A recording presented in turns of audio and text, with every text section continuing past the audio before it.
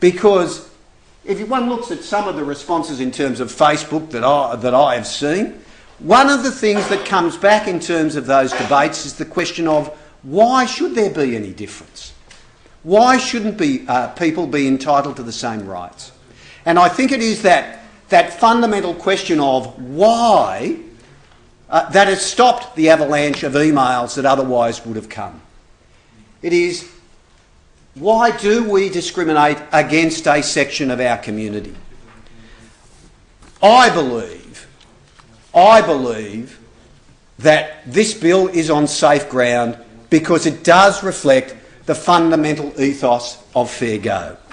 Now, I referred to the emails that I've received and indeed that I have answered uh, emails. I've also answered the emails that have been sent in respect of this matter. And I think it's reasonable that I provide at least part of the answer that I've given to people who have written to me.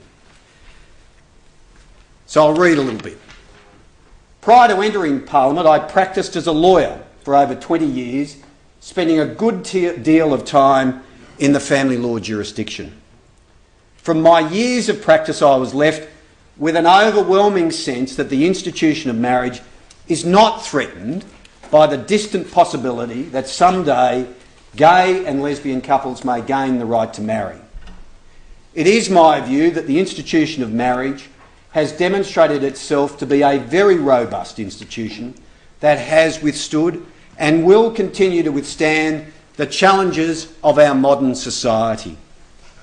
Nevertheless, I have seen the institution of marriage repeatedly tested by the behaviour of heterosexual couples towards one another as they battle within and following divorce outside the confines of marriage.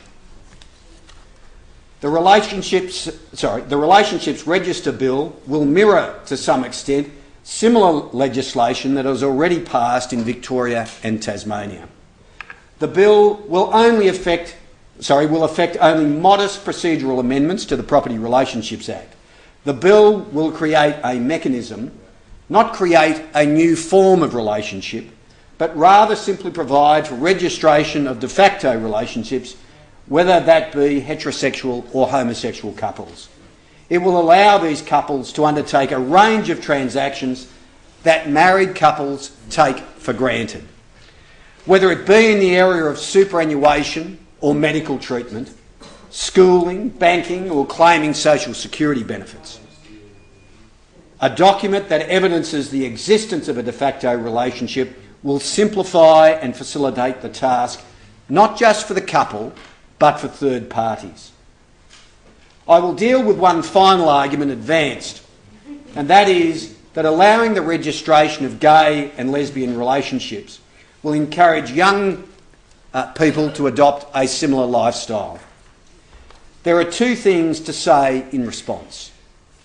Firstly, there is no compelling evidence, and indeed extensive opposing and thorough research to support this concern.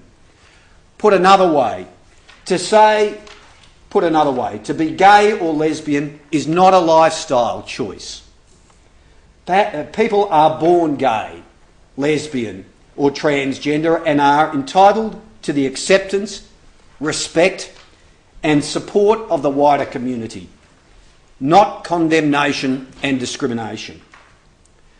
Secondly, the sad reality is that many young gay, lesbian, and transgender people suffer considerable loneliness and isolation in our community as they become aware of their sexuality.